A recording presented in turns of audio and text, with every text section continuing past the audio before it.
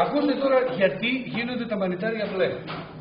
Περιέχουν ένα στοιχείο από τα εκατοντάδες που περιέχουν πολλές φορές που λέγεται θερμικό οξύ. Αυτό το στοιχείο όταν έρχεται σε επαφή με το οξυγόνο του ατμοσφαιρικού αέρα, με τον αέρα δηλαδή που έχουμε γύρω μας, προκαλεί μια χρωματική αντίδραση και γίνεται μπλε, πράσινο, μοβ, μαύρο. Αυτό δεν είναι ένδειξη τοξικότητας όπως νομίζουν οι περισσότεροι. Είναι τι μια συμμαθητριά σα. Άπα, παπα, εγώ δεν θα αγγίξω. Δεν είναι καθόλου ένδειξη τοξικότητας. Υπάρχουν πολίτες και άλλα μανιτάρια που όταν τα κόψουμε τα χρωματίζονται και δεν τρώγονται, μπορεί να μας προκαλέσουν κάποια γαστρεντερικά προβλήματα. Υπάρχουν όμως και άλλα μανιτάρια που τα κόβουμε και γίνονται μπλε και είναι πολύ νόστιμα και δεν έχουν κανένα πρόβλημα. Επειδή όμως αυτά τα μανιτάρια οι πολίτες που όταν τα κόψουμε γαλαζώνουν, ακόμα και αν τρώγονται, δεν είναι και τόσο νόστιμα σαν τα άλλα που είναι άσπρη σάρκα του. Κοιτάξτε εδώ, άσπρη σάρκα αυτό το μανιτάρι, θα την κόψουμε και δεν θα αλλάξει χρώμα. Άσπρη ήταν, άσπρη έμεινε. Αυτά είναι πολύ νόστιμα, αρωματικά, θρεπτικά. Τα άλλα όμως που γαλαζώνουν, ακόμα και αν τρώγονται, δεν είναι νόστιμα. Αυτό το συγκεκριμένο δεν τρώγεται. Έχει μια ξινή μυρωδιά. Αν το μυρίσουμε, θυμίζει κάπως όξινη μυρωδιά. Τι θα πάρουμε να το πάμε στο μαριγάρι. Αν δεν το μαγειρέψουμε, θα μας πιάσει κόψιμο. Θα πάμε στην τουαλέτα. Αν το μαγειρέψουμε καλά, άλλους δεν θα μας περάσει καθόλου και κάποιους που έχουν πιο μεγάλη ευαισθησία στο φυσικό σύστημα, πάλι μπορεί να τους στείλει τουαλέτα. Γι' αυτό λοιπόν, εδώ στην περιοχή μας, τους πολίτες που έχουν ε, σάρκα που γαλαζώνουν δεν τους τρώμε. Και καλά κάνουν γιατί χάνουν βέβαια μερικά παγώσιμα είδη, αλλά χρησιμοποιούν από κάποια άλλα που είναι τοξικά. Έχουμε λοιπόν, αυτός ο πολίτης λέγεται ροδόξανθος. Ο ροδόξανθος. Ελληνικά ονόματα βλέπετε. Πολίτης γιατί είναι σαν και ροδόξανθος γιατί έχει χρώματα κόκκινο και ξανθό. Ο πολίτης ο ροδόξανθος. Λαϊκή ονομασία στην περιοχή μας Συνάκι, που σημαίνει σε μια σλάβικη διάλεκτο ρηπαρό, βρώμικο, γιατί βλέπετε μόλις το πιάσετε πόσο μαύρησε. Εντάξει, δεν είναι όμορφο, μαύρησε. Συνάκι λοιπόν, ο πολίτη ορθόδοξο. Ένα ακόμα τοξικό είδο που βρήκε ο δάσκαλός σας είναι το, το εντόλωμα το κολποτό. Εντόλωμα σινουάκου. Αυτό είναι πιο σοβαρό επικίνδυνο. Δεν, δεν, δεν μεταχρωματίζεται αυτό. Προκαλεί πιο σοβαρή δηλητηρία σε αυτά τα προηγούμενα. Είναι τοξικό είδος. Εντόλωμα συνοάτων, εντόλωμα το κορποτό. Όπως επίσης είπαμε ότι είναι τοξικός ο ομφαλωτός των ελαιώνων. Ομφαλότους ολεάριο. Αυτό δεν αλλάζει χρώμα. Δεν αλλάζει ούτε αυτό το χρώμα. Αυτό φωσφορίζει τη νύχτα. Μια φορά στις 10, αν είστε τυχεροί, τη νύχτα με απόλυτο σκοτάδι, φωσφορίζουν από κάτω αλλάζουμε και το πόδι να το κόψουμε. Όπως οι δείκτες του ρολογιού που φωσφορίζουν. Είναι ένα πρασινοπό χρωματάκι. Τοξικό είδος, το λένε ομφαλωτό γιατί είναι σαν ομφαλός από πάνω και των ελαιώνων, γιατί στα νησιά και στα παράκτια οικοσυστήματα, στα παραγιακά, το βρίσκουμε στις ρίζες της οξάς. Εμείς εδώ έχουμε, τη θελιά, συγγνώμη. Εμείς εδώ έχουμε ελιές. Δεν έχουμε. Τι έχουμε όμως, έχουμε βελανιδιές, έχουμε γάβρους, έχουμε καστανιές, έχουμε οξές, που και σε αυτά βγαίνει ο ομφαλωτός των ελαιώνων. Και αυτή την περίοδο είναι πολύ συνηθισμένο. Αυτός λοιπόν είναι ο ομφαλωτός των ελαιώνων, τοξικό είδος. Δεν το τρώμε και αυτό. Όπως επίσης και ο αμανίτης ο πάνθερας που είπαμε ότι είναι τοξικός και παρεστησιογόνος. Αμανίτης ο πάνθερας, αμανίτα πανθερίνα. Τα πιο νόστιμα, από τα πιο νόστιμα μάλλον μανιτάρια και πιο ακριβά σε όλο τον κόσμο είναι ο αμανίτης του Κέσαρα, αμανίτα Κεσάρια, των αυτοκρατόρων της Ρώμης δηλαδή. Μπράβο. Μία από τις λαϊκές ονομασίες που υπάρχουν στον τόπο μας είναι κοκκινούσκα ή αλλιώς πιπερούσκα ή αλλιώς αυτοκρατορίνα ή αλλιώς κεσαρίτη. Πόσα ονόματα έχει. Πάρα πολλά. Τα πιο δημοφιλή και γνωστά ονόματα πρέπει να έχουν και 60 λαϊκές ονομασίες διαφορετικές. Πολύ νόστιμο παγώσιμο είδο, αμανίτη στο Κέσσαρο. Πορτοκαλί καπέλο, κίτρινα ελάσσοντα, κίτρινο πόδι, κίτρινο δαχτυλίδι, το βλέπετε το δαχτυλίδι.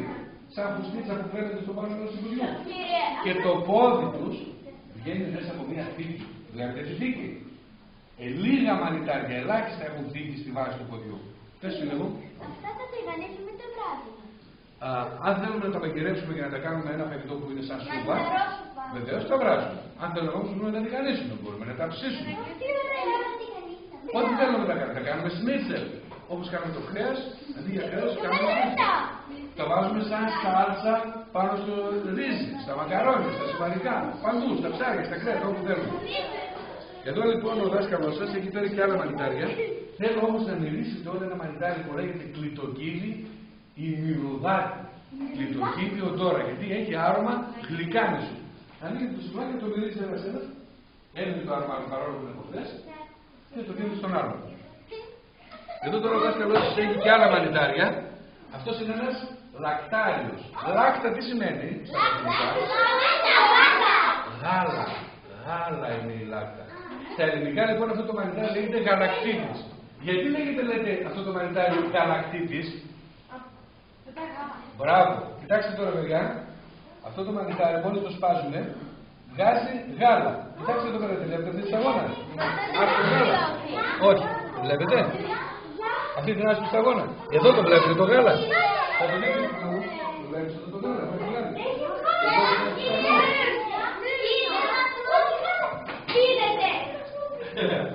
Πάμε να αρμέξουμε λακτάριο στο Βλέπετε; Πώς δεν πιάσει το κόκκι που είναι στα γύρω, δεν μου πιάσει το λακτάριο και άρμεξε. Άρμεξε. Μυρίζει υπέροχα. Νοσοκομείο μυρίζει.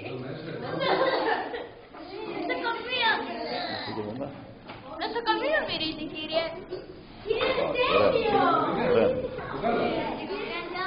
Κοιτάξτε εδώ τις αγώνες της είναι ψάχνες και εδώ. Αυτός λοιπόν είναι ένας γαλακτήτης. Ωραία, με- με- μετά, μετά. Βγάζει γάλα.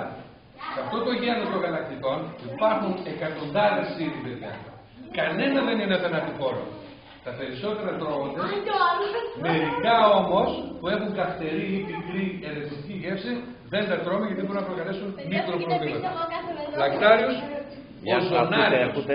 Αυτός λέγεται λακτάριος ζωνάριος. Που σημαίνει λακτάριος που έχει ζώνες. Δηλαδή κάποιες σωματικές ζώνες στο πάνω, στο καπέλο. Πιο σκούρο, πιο ανοιχτό. Λακτάριος ζωνάριος. Δεν τρώγεται αυτό το μανιτάρι γιατί το γάλα του είναι καυτερό. Κύριε Γυρί, μετά έχουμε αγγλικά. Εδώ έχουμε και ένα άλλο μανιτάρι, αμανίτης επίσης, όπως ο Καισαρικός, ο αμανίτης του Φρανσέ. Είναι ένας μυκητολόγος Γάλλος, ο Φρανσέ που έκανε σπουδαία δουλειά και για να το τιμήσουν οι μανιτά- οι μυκητολόγοι ονόμασαν αυτό το είδος προς τιμήν του. Αμανίτης του Φρανσέ. Το χαρακτηριστικό του είναι ότι έχει και αυτός δαχτυλίδι, ελάσματα, αλλά οι νυφάδες, αυτά που είναι πάνω στο καπέλο, είναι κίτρινα, αν προσέχετε. Βλέπετε, έχουν μια χρυσοκίτρινη απόφαση. Δεν είναι άσπρο όπως το πάντερα ή γκρίζα όπως άλλα είδη. Είναι χρυσοκίτρινες οι νυφάδες του Αμανίτα Φραντσέτη. Αυτό απλώς δεν τρώγεται. Και αυτό εδώ πιθανότατα είναι το ίδιο. Αμανίτα Φραντσέτη. Εδώ ο δάσκαλος σας έχει ακόμα ένα είδος που κάτω εδώ αν προσέξετε έχει μια λεπτή κουρτίνα με, με, με ίνες, με τριγούνες, τις βλέπετε. Κουρτίνα από λεπτές ίνες κολλημένες σε μια δίπλα στην άλλη.